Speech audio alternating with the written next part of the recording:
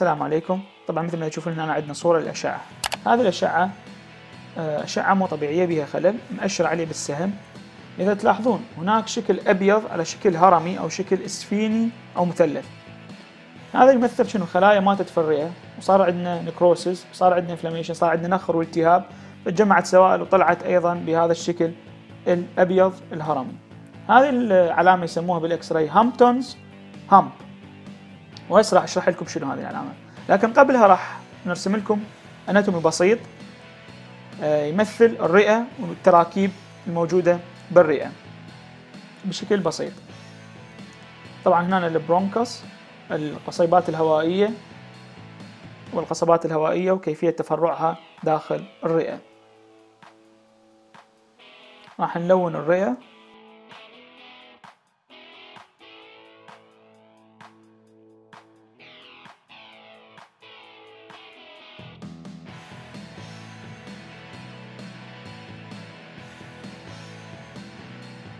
طبعا مثل ما نعرف أن الرئة يأتيها الدم عن طريق ال pulmonary artery اللي لونه باللون اللون الأزرق والدم أصلا هذا الغير مؤكسج.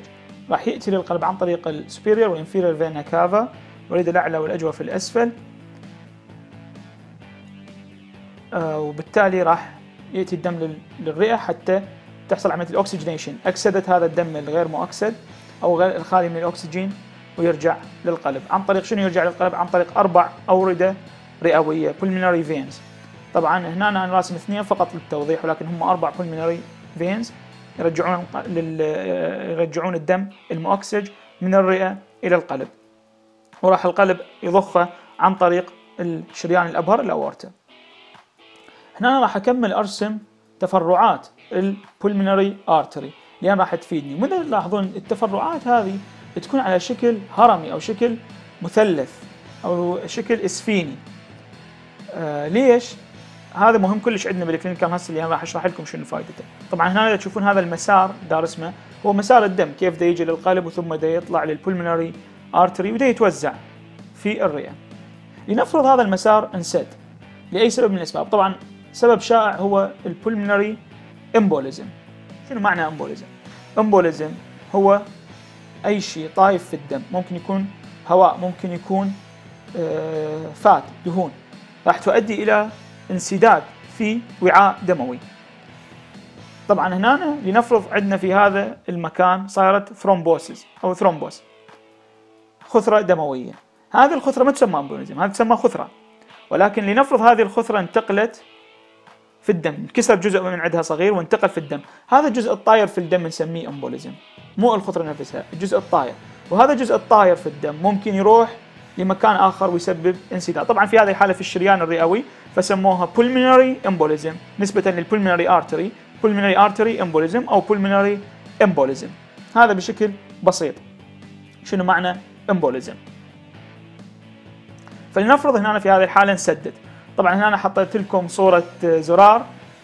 إحنا بالعراق نسميها دقمة ما عرفت شو يسموها. اللغة بالانجليزي بوتن ليش؟ حتى مثلكم إنه embolism ممكن تكون أي شيء.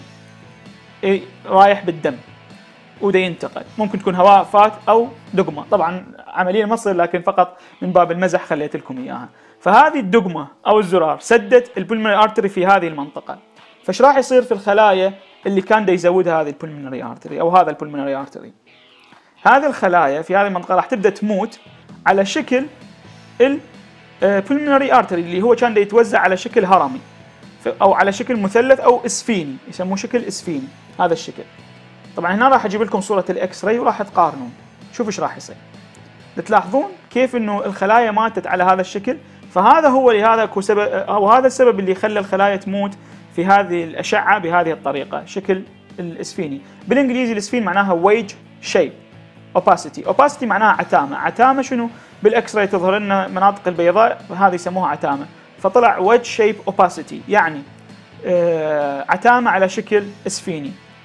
فهذه هي ال Hampton's hump. ليش صارت؟ لأنه الخلايا ماتت نتيجة لأنه الدم ما يوصلها من طريق ال pulmonary artery ولكن هنا السؤال يطرح نفسه. كم حالة من ال pulmonary embolism راح تطلع لنا هذه ال sign 90% من الحالات ما راح يطلع بها ال Hampton hump. طب هنا السؤال راح يسأل ليش إنه ما راح يطلع مع العلم هو ده ينسد ال pulmonary artery راح أجاوبكم على هذا السؤال. بس قبل ما أجاوبكم لازم تشوفون هذا هذه الصورة.